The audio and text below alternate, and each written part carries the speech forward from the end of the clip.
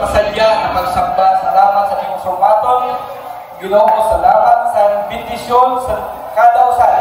Pinagi sa presensya Panginoon na naghatag sin kadasin kalipan sa among Panginoon. Ang tagang pagkuha, pinabalikan sa imong maagilaman sa puliw sa pangalan sa imong anak na sa Jesus. Amen. God bless you and see you again.